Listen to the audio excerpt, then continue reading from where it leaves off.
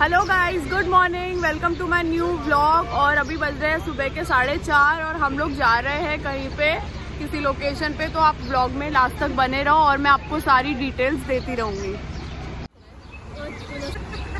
ये देखो वाइट वाली गाड़ी हमारी लग गई है। टूरिस्ट वाली।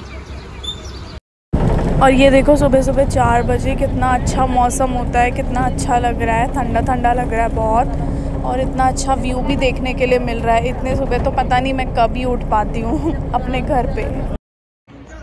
ये वाले रेस्टोरेंट में अभी हम लोग ना ब्रेकफास्ट करेंगे। बहुत ज़ोर की भूख लग रही है।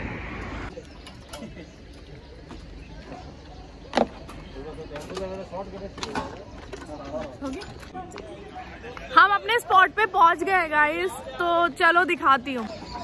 ये देखो घोड़ा।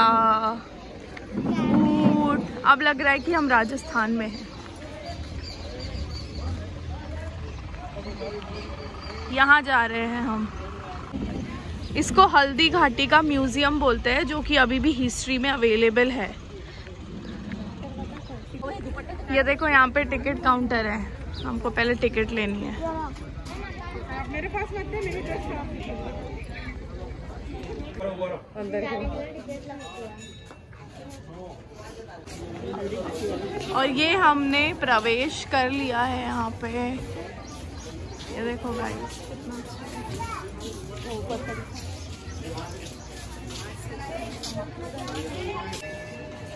ये देखो शिव जी शिव जी दिख रहे हैं आपको?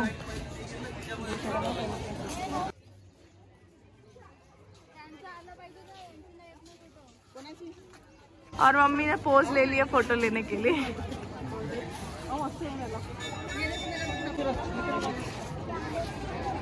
ये देखो, यहाँ पे भी इतनी बड़ी लाइन लगी हुई है अंदर जाने के लिए। ये देखो, लाइन कितनी बड़ी है।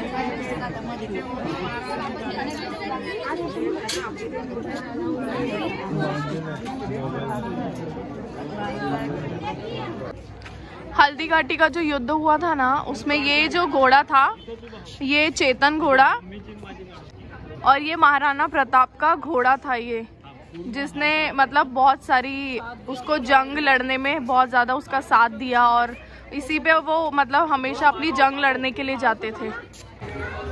और ये हम लाइन से अंदर आ गए हैं।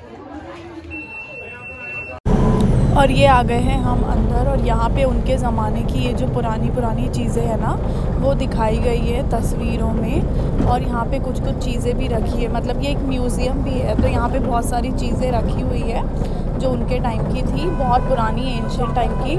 तो ये आप देख सकते हैं। और ये स्टोरीज़ के फॉर्म में उन्होंने यहाँ पर एक्सप्लेन भी किया हुआ है। तो ये देख लीजिए आप कितने अच्छे हैं। और भीड़ भी है काफ़ी मतलब अंदर पे वो काउंट करके ही कुछ कुछ लोगों को लेके जाते हैं सीट के अकॉर्डिंग तो ये पुराने वाले यहाँ पे सब कुछ उनकी जंग लड़ने के टाइम पे जो उनको काम आते थे, वो सब चीज़ें हैं।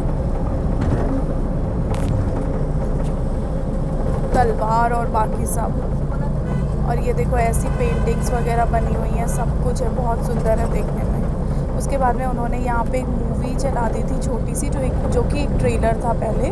तो ये ट्रेलर में उन्होंने बताया था उनके बारे में मतलब इंट्रोडक्शन दिया था उनका। और उसके बाद में फिर हमको एक अंदर बड़े वाले थिएटर में लेके गए थे वो, जहाँ पे वहाँ पे एक प्रॉपर मूवी चल रही थी। तो वहाँ पे भी मैं आपको लेके चलती हूँ अभी।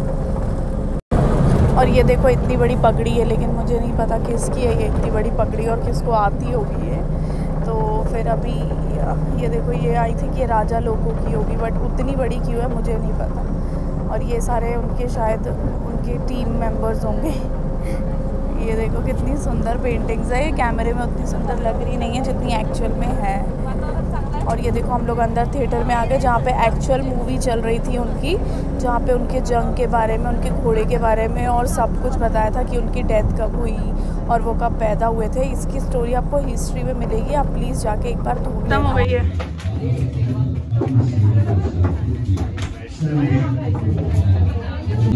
और यहाँ पे भी एक थ्री मूवी टाइप की वो लोग दिखा रहे हैं। यहाँ पे पूरा बना हुआ है उनका थ्री डी आर्ट उसके ऊपर वो कुछ दिखा रहे हैं। और इसमें बताया गया है कि उस किले का नाम हल्दी घाटी क्यों रखा हुआ है। और वहाँ पे ना हम लोगों ने आते टाइम देखा था वहाँ पे जितने भी पहाड़ थे ना वो येलो कलर के थे मतलब हल्दी के कलर के थे, इसीलिए उसका नाम हल्दी घाटी रखा गया। मुगल सेना को अपनी छावनियों को छोड़कर भागना पड़ा। छावनियों के अंदर से लूटा हुआ माल व अब्दुल रहीम खान खाना जिसकी राजकुमार उदय सिंह के बड़े भाई विक्रमादित्य सिंह की हत्या करके राजमहल की तरफ़ राजकक्ष में आया तो उसने पन्नाधाय से कड़क मातृभूमि को शत्रुओं से मुक्त नहीं करा लेता। तब तक न तो मैं महलों में रहूँगा न किसी धातु के पात्र में महाराणा प्रताप की तरफ़ आए माफ़ी मांगी और अपना घोड़ा महाराणा प्रताप को दिया। चलो किले से बाहर महाराणा प्रताप के। और ये हम निकल गए हैं बाहर।